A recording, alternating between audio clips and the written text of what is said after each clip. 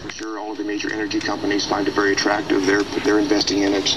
Uh, the uh, all the transportation companies find it attractive. The major polluters want geoengineering. It's a, it's a, if it doesn't work, that's okay, but they bought themselves time.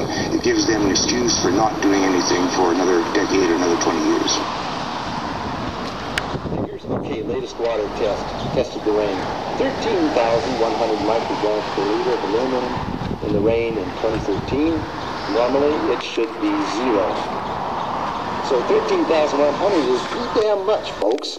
It used to be zero, then it was 100s in the 2000s, and then in uh, since 2010, it's into the 1000s and the latest 13,100.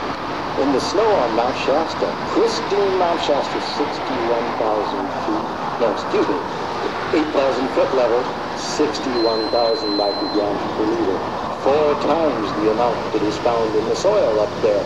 Where the hell is this stuff coming from if it's not coming from the soil?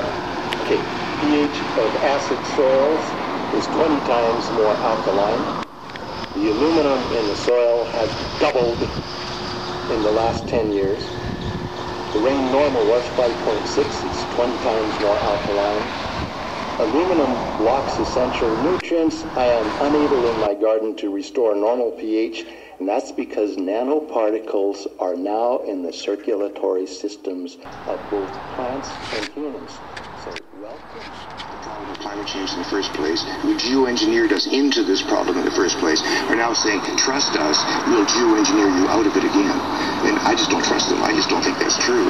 I can't believe that governments who don't have the intelligence or the integrity to tell their own populations that there's a problem here with climate change, who haven't had the guts to address the issues around the Kyoto Protocol, even that, are actually going to have the integrity or the intelligence to geoengineer the planet in a safe way. It's simply ridiculous. videos, and they were saying uh, that they were dropping uh, one of the ingredients was aluminum. Well, I had uh, done a fair amount of uh, writing and research uh, on the effect of aerosolized uh, chemicals in the, in the nose when you breathe them. And uh, what we knew was that these particles tend to travel along the olfactory nerve, which is the smell nerves in the nose, and it travels directly to the part of the brain that has to do with memory and, and uh, emotions.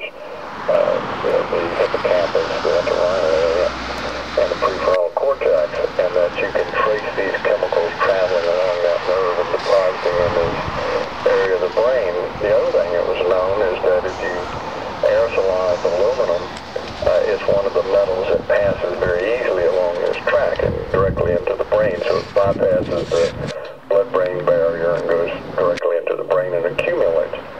But if you do it in animals, it produces lesions or damage in that uh, area of the brain, and the animal uh, will begin to show changes of memory and learning and emotional changes. Um, when we look at people who have Alzheimer's disease, ironically, the highest concentration of aluminum in the brain is uh, that same entry point, uh, what's called the entorhinal cortex uh, and the levels uh, continue to accumulate.